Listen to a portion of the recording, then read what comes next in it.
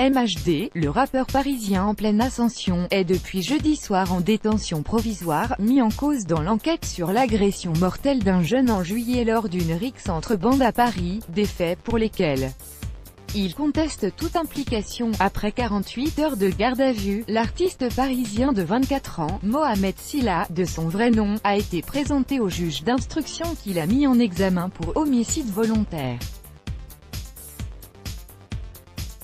Selon son avocate Elise Arfi, il conteste toute implication dans cette rixe survenue le 6 juillet, sa présence sur le lieu des faits n'étant pas avérée, elle a annoncé qu'elle ferait appel de son placement en détention provisoire, au regard notamment de ses garanties de représentation et de l'absence d'antécédents judiciaires, selon un communiqué transmis dans la soirée.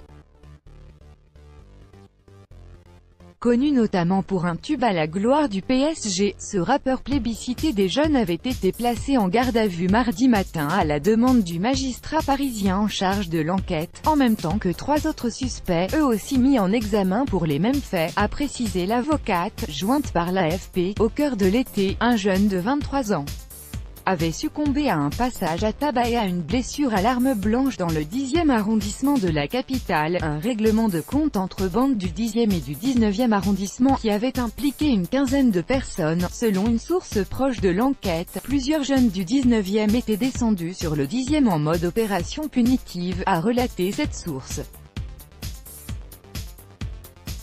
Or ce jour-là, la voiture du rappeur, originaire du 19e arrondissement, aurait été aperçue sur les lieux.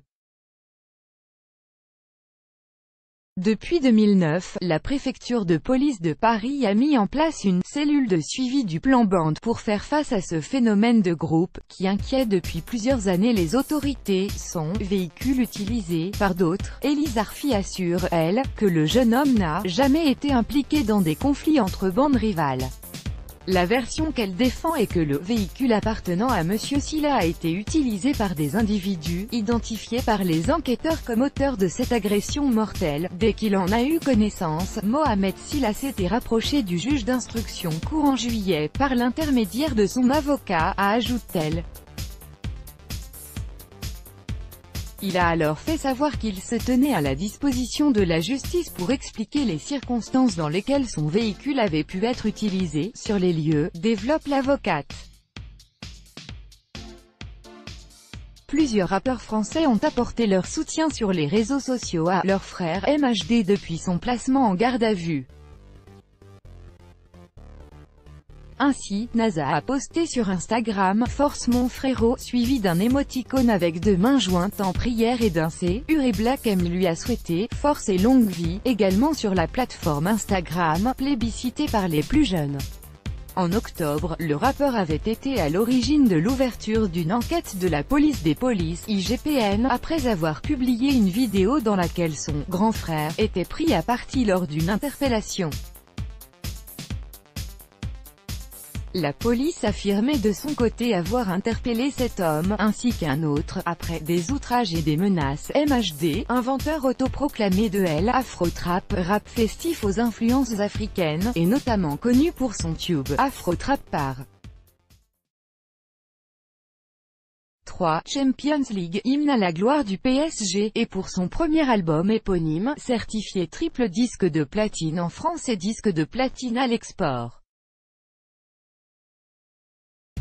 S'était lancé dans la musique en 2015, alors qu'il était livreur de pizza, propulsé par les réseaux sociaux. Son concert prévu mercredi soir à Amsterdam aux Pays-Bas, a dû être annulé. Il est programmé le 29 mars à l'Accor Hotel Arena, Bercy, pour la tournée avec son deuxième album, 19, sorti en septembre, qui affiche des collaborations avec San, Dajou ou encore Salif Keita. MHD avait cependant affirmé au cours du même mois sur Snapchat vouloir quitter la musique, plus envie de rien, plus envie de musique, écrivait-il.